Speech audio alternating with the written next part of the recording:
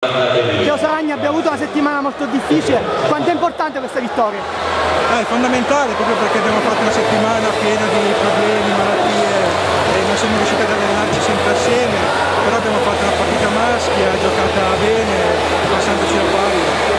Nel momento decisivo, quando stava rientrando Brescia, sono arrivati due canestri e anche alla fine quella bomba diciamo, sulla linea che ha ricacciato indietro eh, la paura del, del ritorno in campo.